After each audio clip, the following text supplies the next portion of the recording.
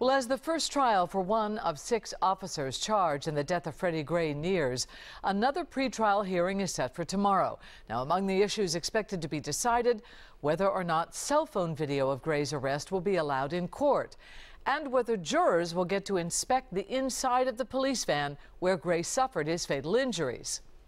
It is exactly one week until that first trial for Officer William Porter gets underway, and there are still many questions about what exactly led to Freddie Gray's death. Tonight, WJZ looks ahead at what we may finally learn. In April, the death of a Baltimore man changes our city forever. Freddie Gray dies from injuries he suffers while in a police van. When the trial for the first of six officers charged in the death of Freddie Gray gets underway, the eyes of the world will be focused right here on this courthouse.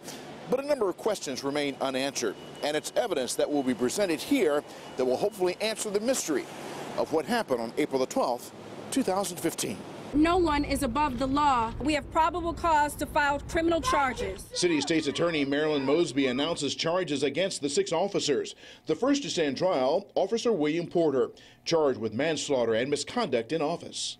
One of the biggest mysteries remains what happened to Freddie Gray inside a police van just like this one what caused his critical injuries that led to his death. We know some things went tremendously wrong. Law enforcement expert Dr. Tyrone Powers tells WJZ what he thinks will be revealed in court. Are we going to learn something we have not known up to this point? I think what's going to shock some people is the position of the body in the paddy wagon.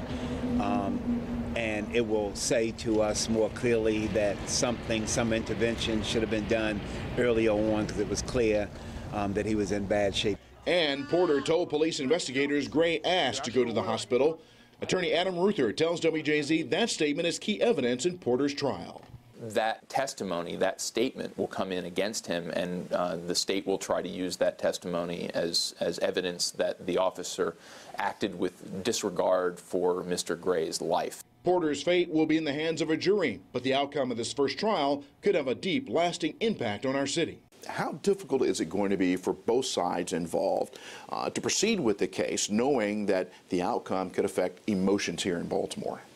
Well, obviously, practically, it's going to weigh heavily on everybody's minds. Baltimore has seen a lot of high profile cases, but it's been a very long time since uh, a case has resulted in the public outcry and the disturbances that this case has. The next officer is set to stand trial is Caesar Goodson, who is charged with second degree murder.